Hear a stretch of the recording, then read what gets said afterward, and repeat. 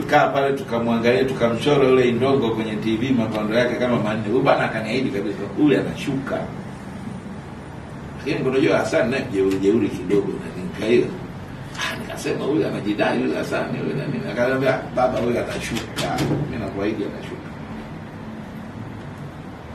Na nalisemaga sana hili kwa sababu watu wanafikiri kwamba alibahati. Hakubahatisha, he was, he was well prepared, na alikwenda akajifungia Lushoto milimani kule kwa ajili ya kupata pumzi na kujenga stamina na nini. Na unajua siku ile pale ulikuwa unamtandika yule bwana alikuwa anahema kama paka mwizi. Yaani ilikuwa akia Mungu, unajua alikuwa ame, ame kona yake ilikuwa mbele yangu hapo. Kwa alikuwa akirudi kule na bwana kuja sasa nikamfanya nini anapumua namna ile. Kwa kusema kweli kwa kwa kwa, kwa fujo ile ulikuwa unamfanyia, sijui hata kama angefika raundi ya sita. Kwa hiyo mimi nashukuru kwamba kwanza ulitimiza ahadi yako, ukaniambia utashinda. Kwanza utashinda, lakini pili uliambia utashinda kwa knockout. Sasa basi ukishinda kwa knockout, basi mimi na wewe tuna ahadi yetu, tutawekeana. Kwa hiyo bwana amekuja kunitembelea leo, kunisalimia kwa mapenzi, lakini sinadhani mapenzi yake zaidi ni ile kuona ile ahadi yake vipi. Sasa mimi na namshukuru Hasani kwanza kwa kuitangaza Tanga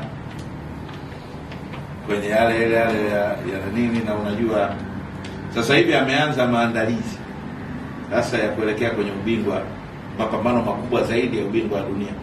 Alikuwa amekuja kunipa taarifa ya mwenendo wa matayarisho yake na maelekezo yake na, na, na mwelekeo wake. Sasa tunabishana hapa kwa bishara wenyewe kama apamane na fulani ama apigane na fulani kwa sababu unajua haya mambo ya boxing yana malengo, sio mambo ya ku, ya kubahatisha bahatisha. Yule atakayepigana naye na akamtwanga, sasa hivi kwa ngapi kwenye renzi kumi na moja. Dunia nzima hii ya watu bilioni ngapi? Hiyo kumi na moja, sio jambo dogo. Sasa unajua, na, na, nataka na watu wa Tanga, jamani, mlisemi hivi Eh, ranking ya namba kumi na moja duniani sasa. Sasa akipata mtu ambaye yuko yuko hapo kwenye five star ranking yake na nini na nini, akimtwanga inazidi kupanda, anazidi kupanda. Sasa amekuja kuniona kama mzee wake, kama baba yake, kama mshauri wake wa masuala mbalimbali. Tunakuwa na bishana hapa, apigane na huyu, apigane na nani na hivi na nini, lakini lengo ni kwamba tunataka Hassan Mwakinyo bingwa wa dunia tena, ikiwezekana hasa niwe undisputed kwenye mikanda yote, undisputed welterweight champion of the world from Tanga. Imagine amekwenda pale hapo ameshika bana linasema beautiful Tanga, watu wote watataka kujua huyu Hassan Mwikinyo Tanga ni wapi. Wakigugo wanashuka hapa wanajaa.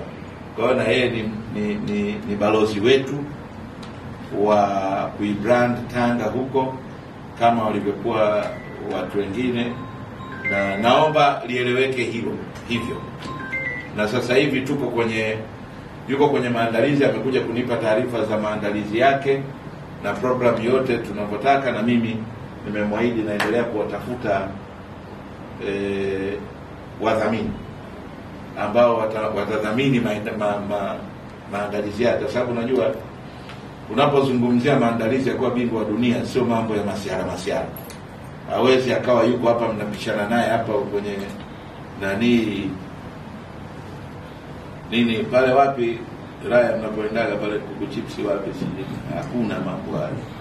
Eh, hata chakula chake kinabidi kiwe controlled awe na access ya madaktari na fitness instructors na nini, yaani ni mambo makubwa sana unapokwenda kutafuta ubingwa wa dunia sasa, sio mambo ya ya hivi janja tu hivi na kadhalika. Kwa hiyo e, niko kwenye mkakati, tumezungumza, tunataka tupate wadhamini mbalimbali.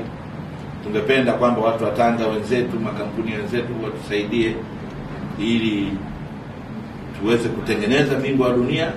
Nawe bingwa wa dunia, mi namwombea wa mikanda yote, na basi Mwenyezi Mungu akusimamia sana.